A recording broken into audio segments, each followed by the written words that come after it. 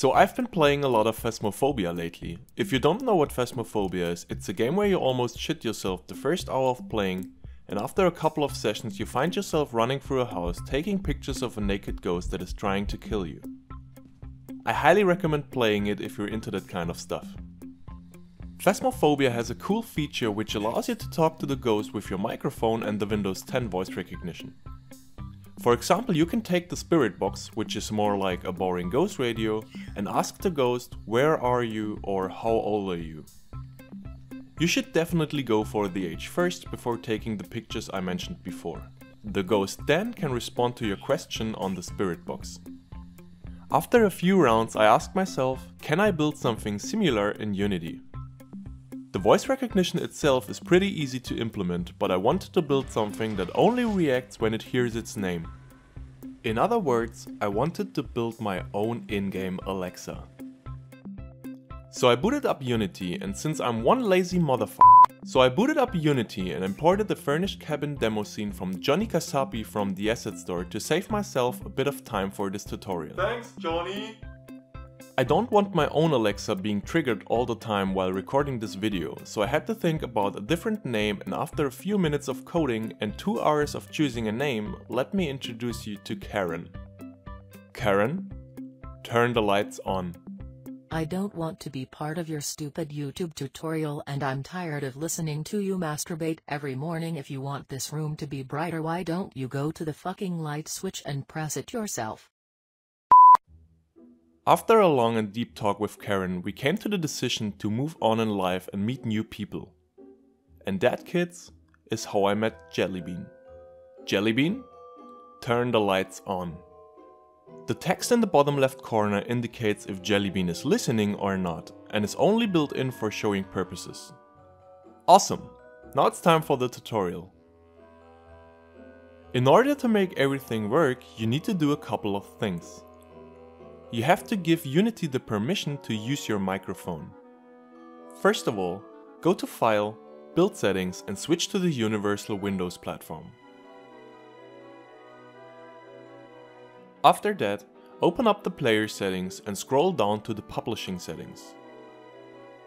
Under Capabilities, make sure microphone is checked. Close everything and add a cube to the scene this will be our jelly bean. Add a point light to the cube, set the intensity to 0 and position it above the cube. Then add a script to the cube and open it up.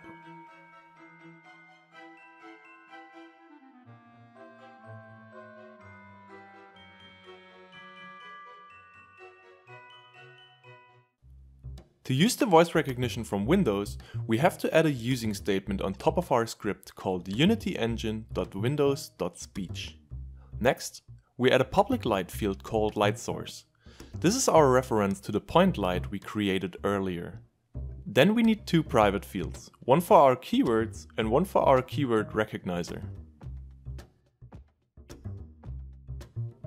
Last but not least, we create a private boolean is listening and a coroutine for the attention span of Jellybean. In real life, Alexa has an attention span of around 5 seconds. In our start method, we create our keyword recognizer with our keywords. Afterwards, we need to tell what happens if a phrase got recognized. We'll create that function in a minute. In Phasmophobia, you have to press a button in order to talk. To achieve that, simply put two if statements in the update method.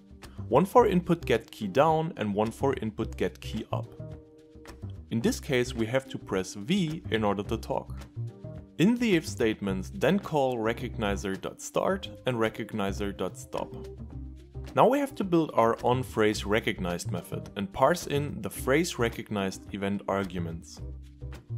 Then, we check if the recognized phrase was jelly bean, and if it's true, we start a coroutine called attention span. This coroutine is responsible for turning jelly bean on and off. Alexa only takes orders after you say its name, and this is what we want as well. So we set is listening to true, then we wait for 5 seconds, and then we set is listening to false again. Back in our onPhraseRecognized method, we can now check if Jellybean is listening, and if that's true, check for our other keywords. I'm using a switch statement here to check if I told Jellybean to turn the light on or off. But before Jellybean can hit the light switch, we need two more methods that turn our light on and off. If one of our methods gets called, we want to stop our coroutine because that's what Alexa does as well. Also we want to set is listening to false and set the intensity of our light depending on the method. Let's save everything and head back to Unity. The last thing we need to do is to drag our light onto our light source reference in our script. I also changed the main camera position to get a better view of the cube. If we hit play now, it should be possible to toggle the light on and off with the magic of our voice. Jellybean, turn the light on. Jellybean, turn the light off. Now you never have to walk to your in-game light switch to turn your in-game light on again.